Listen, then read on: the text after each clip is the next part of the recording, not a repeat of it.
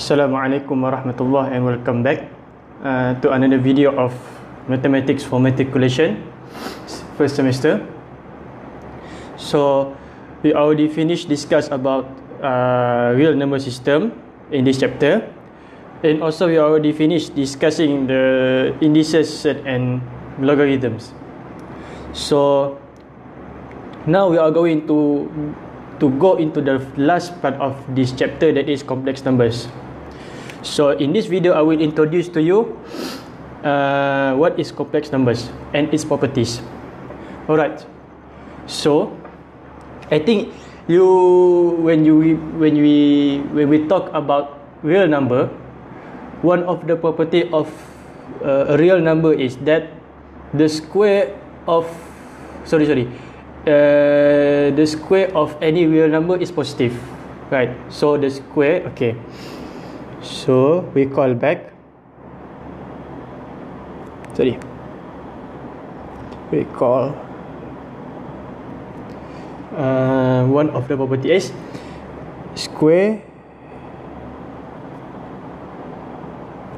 of any real number is positive is positive. Okay so for example we take for example we take for example is uh, the square of any real number is positive. So take for example 2 squared equals to 4 okay. Negative 3 cube. And oh sorry we are talking about square. Mm. is 9 okay. And then we have 1 over 4 squared is 1 over 16 and so on. And actually uh, if we go because it involves squares okay. So this okay so we talk about this one so these numbers is actually if we going back to uh, quadratic equation actually this this value satisfy the equation x squared minus 4 equals to 0 okay. So if if we have this x uh, this equation x square minus x squared minus 4 equals to 0 so the solution is x can be either positive or negative. Okay. Because this this this solution if you put into the equation it will give, you 0 okay. Right. So in this case okay in this case okay we talk about one kind of one kind of equation that makes uh, mathematicians dumbfounded for a while during I think about uh, 16th century I think if I'm not mistaken. Okay so how about this equation? X squared plus 1 equal to 0 what is the solution?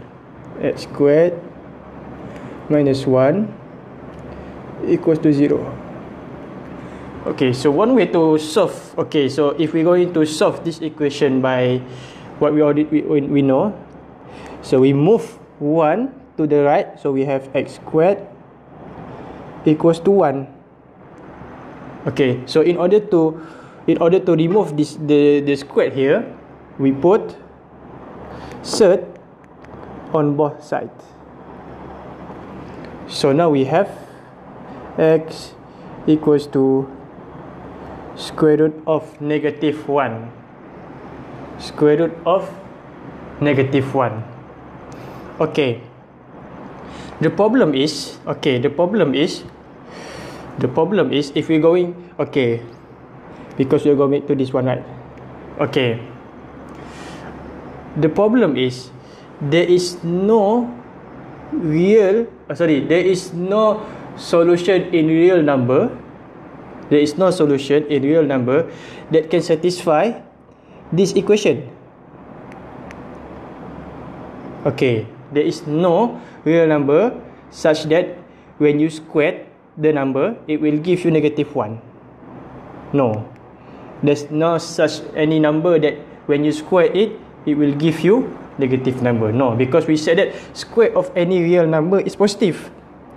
Okay, but now if we go into solve, we can see that here, here we need to find a number in real number, we call x, such that we, if when we we put squared on the solute on the number, it will give you negative one. No, there is no no solution from real number that can satisfy the equation. Okay. Right so what what what the mathematicians what the mathematicians do is they introduce a number that is called imaginary number. Ima- imaginary number. So, imaginary number e sorry imaginary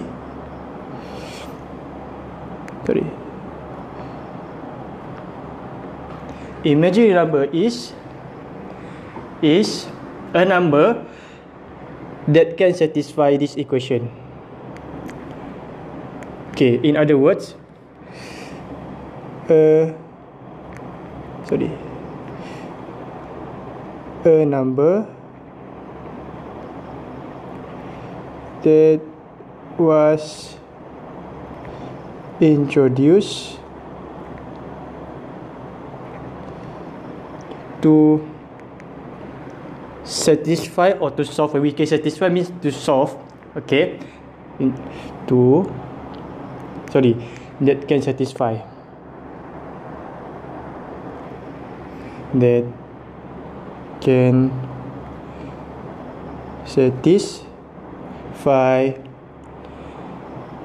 uh, x squared plus 1 equals to 0 Okay, so we're going back to here. We have x squared, right? So x squared, right?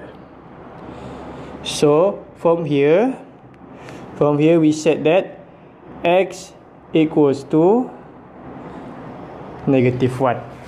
Okay, but we said just now, there is no solution x from real number that can satisfy this equation because there is no real number when you square it gives you negative number. Okay, so what the mathematicians do is, okay, sorry. So let's say square root of 1 is i. So let's say square root of 1 is i. So now, so now, okay, so now, the problem can be resolved. Because if you square the i, it will give you, sorry, it's supposed to be negative 1 negative 1 okay so now we have a solution. We have a solution that satisfy this equation. Okay but now but now but now this i okay but now remember i is not sorry a real number. I is not a real number okay So now, when we say that we when we when we assume that the square root of negative one is i, okay. Now we can satisfy the equation. However, i is not a real solution. Okay, no sorry, i is not a real number. So imaginary number is not a real number. It exists in another realms of numbers. That is what we call as complex numbers. Okay, so now we go into the definition of complex numbers. Okay, so now, so now, when they introduce the i, they discovered the realm of complex number system. Complex number system. Complex number.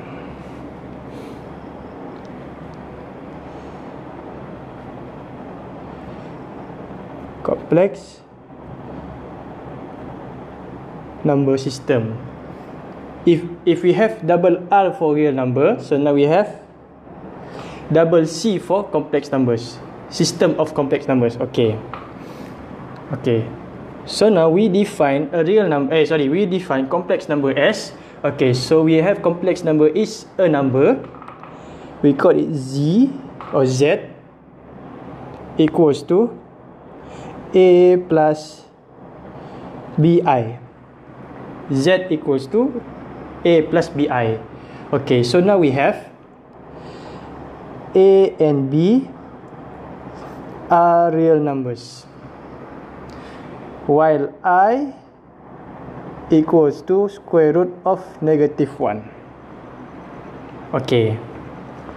So, this is how we define a complex number. A complex number Z or Z. Okay, Z. Okay.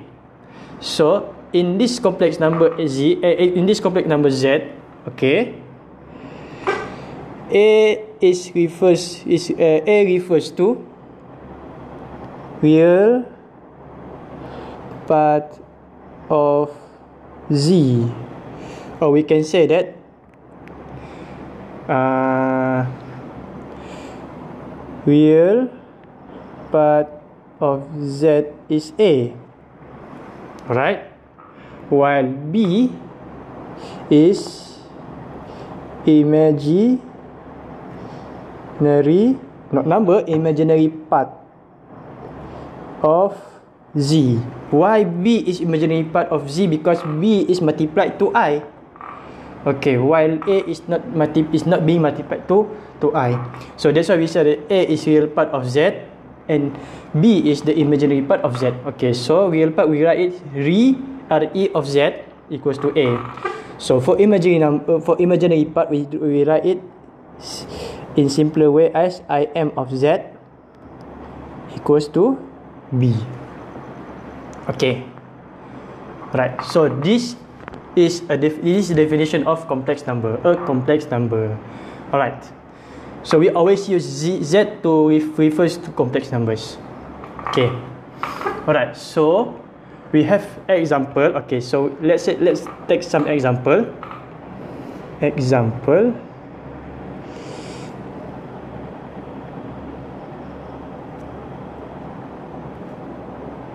Okay.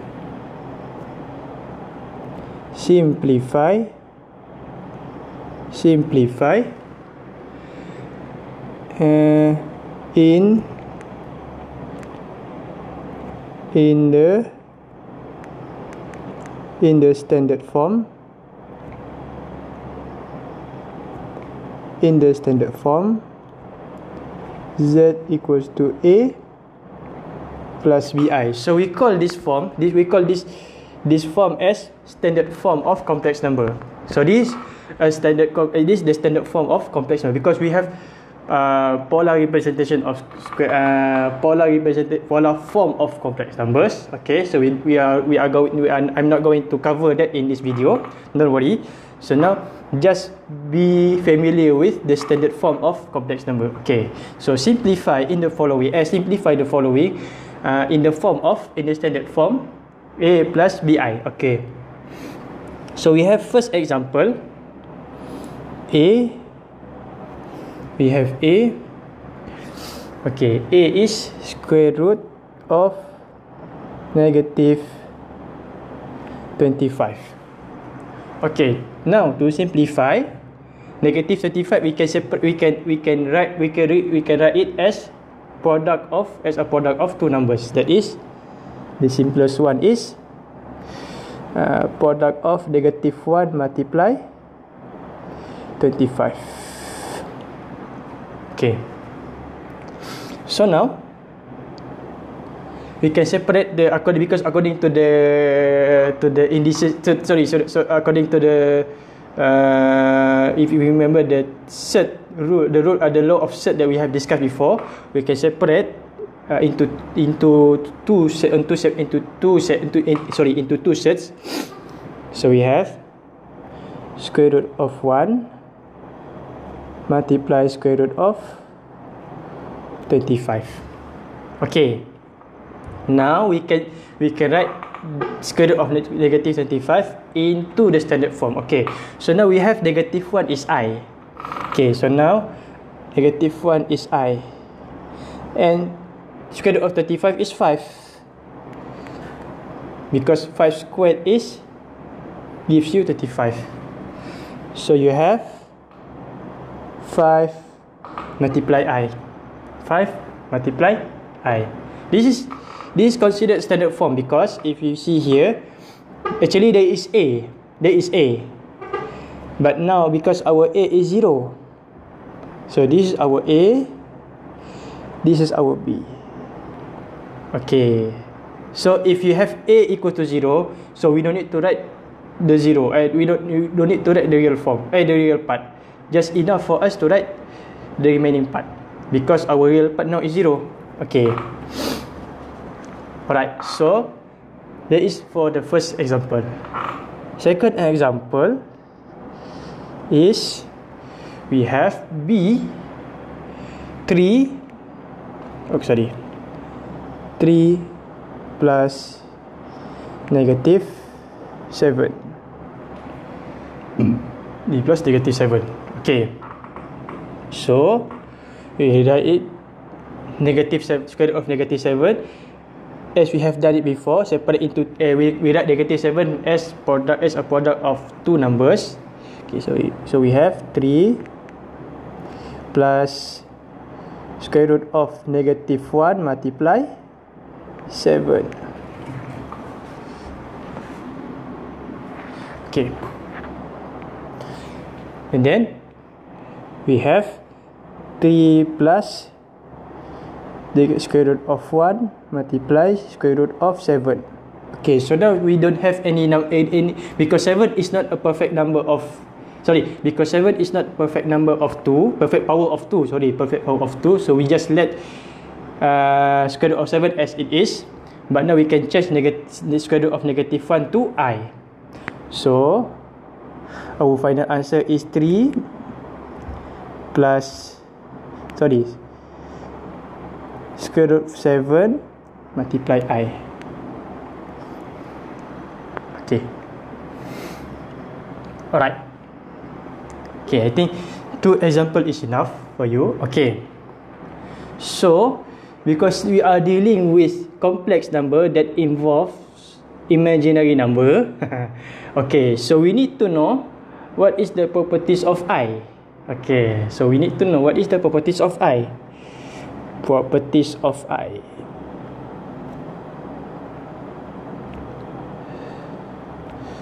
Properties of i. Okay properties of i is i i only have one property.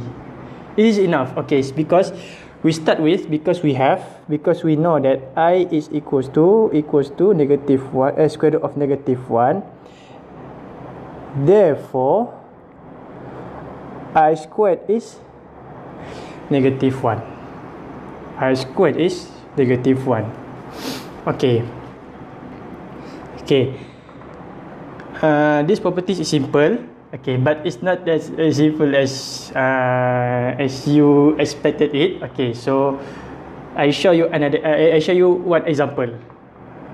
So let's say we have example. Simplify.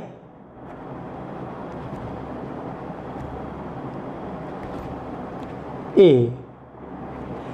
A. I of 10. I to the power of 10.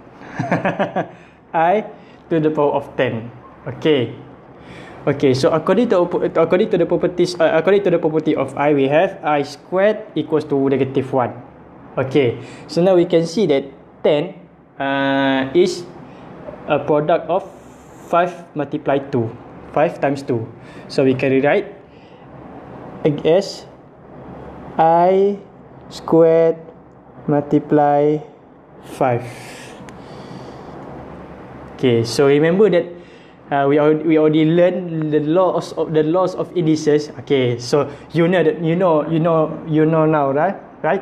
Why I choose to uh, discuss with you indices set and logarithm uh, rather than I discuss to you complex num complex numbers first. Okay, because it will make you easier to understand this this property uh, this this example. Okay. So now we can we can set we, okay we can write it this one as in bracket i squared close bracket to the power of 5 okay to the power of 5 so now we have so now we have negative 1 to the power of 5 which is negative 1 okay all right Second example. B. I to the power of, sorry, 25. I to the power of 25. Okay. So now our power, our index is uh, an odd number. Rather than, because we see in the previous example, our our index is even number. So even number, the factor of an even number must always includes 2. Okay, but now we have uh, our our our index is odd number okay but okay odd number still odd number is is defined as uh as the simplest one. Odd number the smallest the smallest even number plus 1 smallest even number plus 1 so we can write 25 as i 24 plus 1 Okay, so according to the laws of indices, we can separate the power into two separate indices. So we have i uh, to the power of 34 multiply i to the power of 1. So i to the power of 1 is just i. Okay. So now what, need, what we need to evaluate is i to the power of 34. Again, 24 is now even number so 24 is in the simplest way is a product of 2 times 12 so we can write it as eh sorry i squared multiply 12 multiply eh, no, to the power of 12 times i squared. Eh, sorry times i. So so now we have uh, square root of 1 no negative of negative 1 to the power of 2 12 20, uh, 12 multiply i. So our power is even number. So we have 1 multiply i. So i. 1 1 multiply i. So no need to write 1 just we, we just write i. Okay. Right. So i think these two example is enough for you. Is enough for you. Okay. So you can conclude that. So now from here from the properties from from this example we can conclude that. We can conclude that. Okay. So if we have if we have i of m. Oh sorry. I of m. Okay. If m is 2n okay if m is 2n okay uh, sorry. I think i prefer to use i i just conclude that this. Okay. Okay so i to the power of 2 multiply n okay. If n is even if n is even we have okay i to n is equals to 1 but if n is odd we have i to n is negative 1 okay. So this is what we can conclude from the two example that I have demonstrated to you. Okay. Alright. So this is the properties of i. Alright. We go into another another con- another concept of related to complex numbers that is conjugate of a complex number conjugate of z or a conjugate of z okay conjugate of z.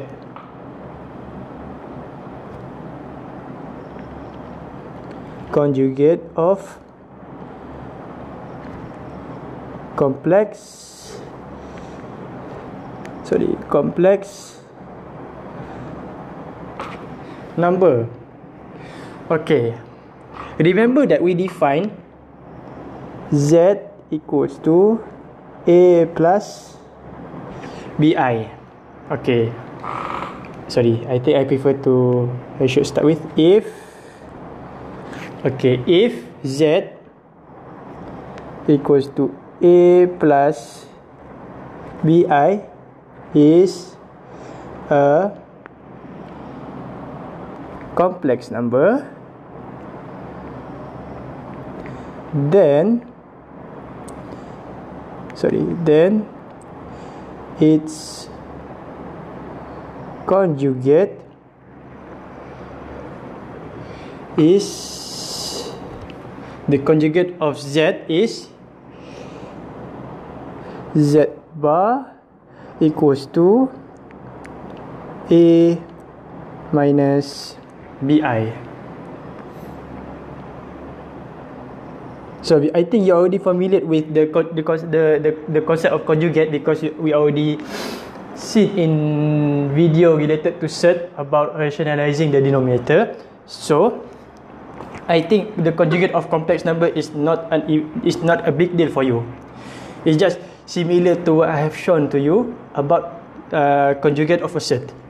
Okay conjugate of a set okay so example okay so so this set and this set are, are, are related to each other. Okay so the conjugate for z for for z bar is z a plus bi okay so we have that. Conjugate for a by a minus bi is a plus bi it just you know each now each z and bar z is conjugate of each other. Okay, Z bar and Z is conjugate uh, are conjugates of each other. Okay. The similar concept to to the, to the conjugates of set. No worry, it's just similar. Okay. So so example of conjugate is let's say we have let's say we have uh, Z is 5 plus 7i then our conjugate is 5 minus 7i in easy. Okay. How about if z is 2 minus 3i so as i said before z bar and z uh, z bar and z are complete uh, are, are conjugates of each other. So for this one, it's just z bar is 2 plus 3i. Okay. Third example, if we have z equals to 6i, its conjugate is z z bar is negative 6i. Okay, because the real part of z now is 0. So we no need to write the the real part. Okay, but we know we only need to change the sign of the imaginary part. Okay. How about if we have z equals to 8? Well, its conjugate is still 8. Okay. So this uh, a few illustrations about uh, conjugates of a complex number. Okay, so we have the properties of conjugates. Okay, the properties of conjugate. Properties.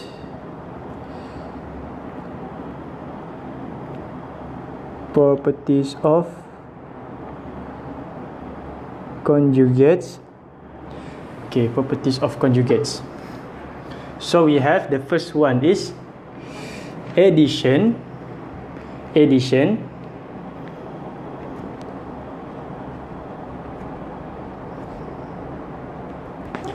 addition of z. Okay z uh, a complex number z and and its conjugate that is z bar okay so now we have z is a. Sorry. So we have a plus bi uh, plus the conjugate its conjugate that is a minus bi. So now if we expand the bracket so positive bi cancel cancels out negative bi. So what's left is a plus a. So a plus a is 2a okay second example a uh, second properties is product of product of product of a complex number z and its conjugate z bar.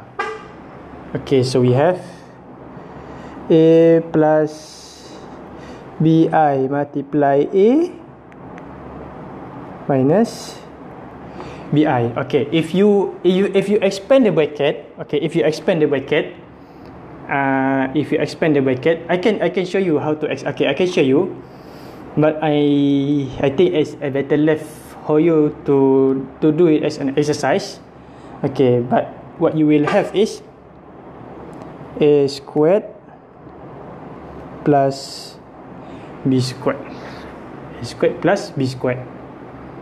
Okay a squared plus b squared. Okay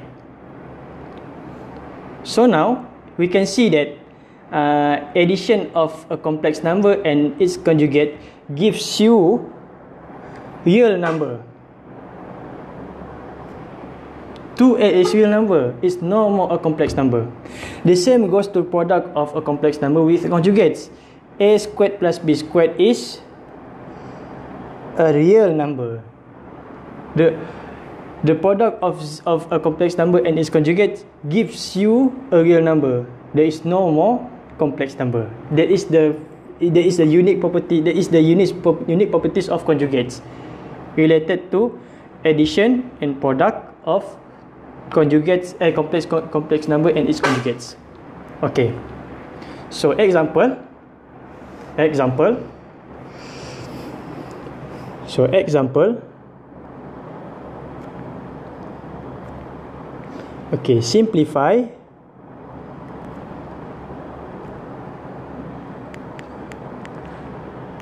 Simplify. Simplify. A, we have